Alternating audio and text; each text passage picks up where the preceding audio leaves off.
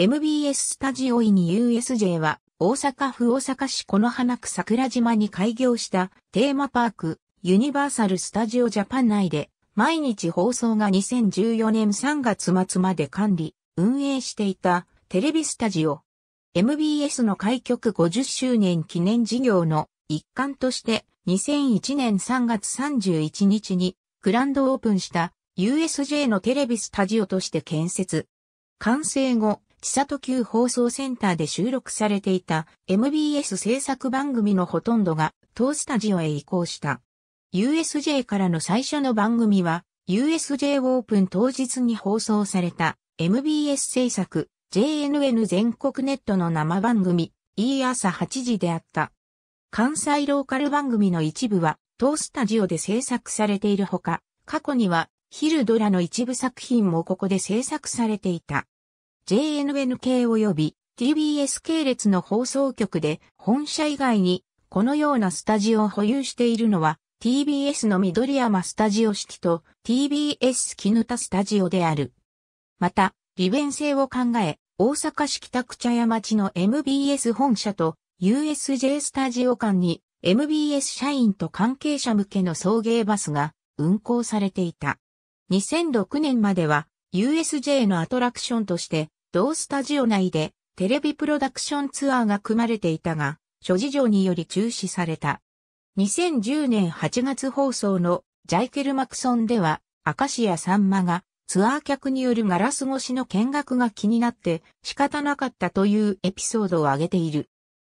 USJ スタジオの敷地賃貸は2011年3月末までの契約となっていたものの、2008年1月9日に行われた社長年頭会見で契約期間の10年延長を発表したが、翌年の1月7日に行われた社長年頭会見で、茶屋町の MBS 本社本館の北隣に建設された新館を建設することなどを理由に、2014年3月31日をもって撤退することを表明し、同スタジオの機能を B 館内に新設のスタジオへ移す形で閉鎖された。建物は現在も残され、ステージ18の名称でイベントホールなどとして使われた後、2020年からは世界最大面積のフリーウォーク型 VR アトラクションの常設施設 XR ウォークとして運用されている。MBS ロゴの看板やユニバーサルシティウォーク、大阪側に掲示していた垂れ幕は撤去されている。なお、同社のオープンスタジオは、茶屋町社屋の増築の際、新たに茶屋、町プラザがエントランスに設置されている。本社に同規模のスタジオが一つしかないため、基本的には収録番組のほぼすべてがこちらで制作されていた。この他関西ローカルの生放送番組もこちらで制作されることが多かった。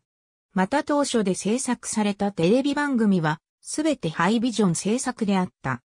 ヒルドラについては毎日放送が制作を担当するドラマのすべてをここで収録するわけではなく、在京の制作会社や東京支社主導で制作された作品については在京のスタジオで収録されていた。ここで収録される作品は MBS 企画が制作協力に名を連ねる作品が多かったを挙げている。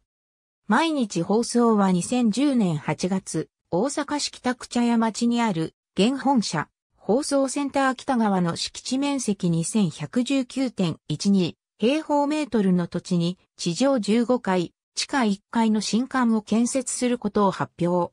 2011年4月に着工、2013年9月末に完成し、2014年春から運用を開始した。USJ スタジオの全機能と、吹田市にあるミリカセンターの一部機能が茶屋町に集約されることになる。ありがとうございます。